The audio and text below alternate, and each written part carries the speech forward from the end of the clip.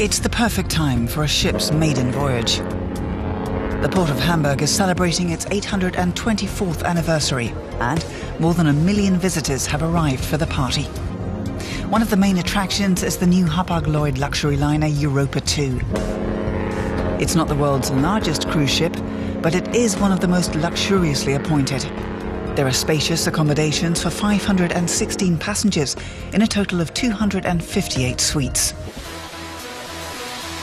Two days before the ship set sail, crew members were making the final preparations. Johann Schrempf is the Europa's hotel manager. He held a similar post on the Europa's sister ship. The goal here is to offer passengers laid back luxury.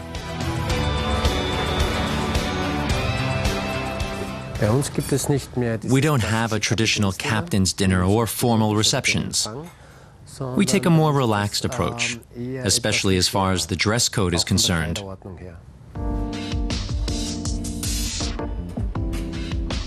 Schrempf takes us to one of the ship's two owner's suites. Each covers 116 square meters.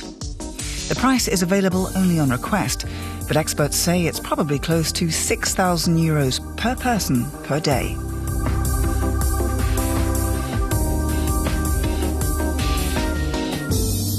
Schrempf is in charge of making sure that all the guest accommodations are in perfect order.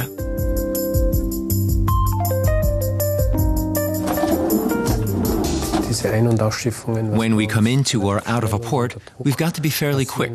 The pressure's high. And there's always the chance that we'll overlook something. So I double check certain areas just to make sure that everything's okay. The suites employ a subtle colour scheme, relaxing earth tones of brown, tan, and grey, with accents of violet and mauve.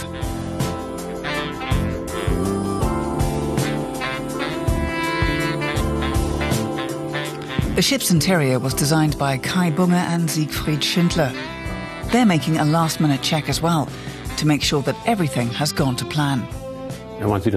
We've been on board for two days now, checking out some specifics like the settings for the lighting. We did some fine tuning and realigned some of the fixtures so that they properly bring out the interiors.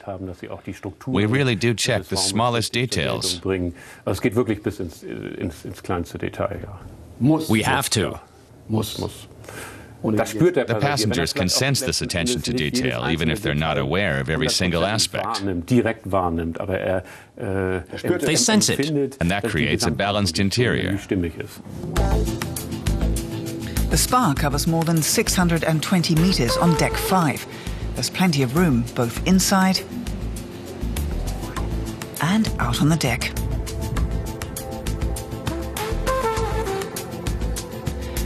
Deck 4 features the dining and entertainment areas. There are eight restaurants in all, several bars, a jazz club, as well as a theatre with room for more than 400 patrons. The final checks have gone without a hitch, and the ship's captain, Jan Ackermann, predicts the maiden voyage will too. The important thing is to make sure that the crew really get to know the workings of the ship. I think that's the most exciting thing about a first voyage. Last minute preparations are also underway below deck. Stefan Wilke is the ship's head chef. He's in charge of preparing gourmet meals for each of the Europa's eight restaurants. I think I get this from my mother. I'm always at the right place at the right time. The food's ready, and all I have to do is just sit down and eat. That's fabulous. The Europa 2 was officially christened last Friday night.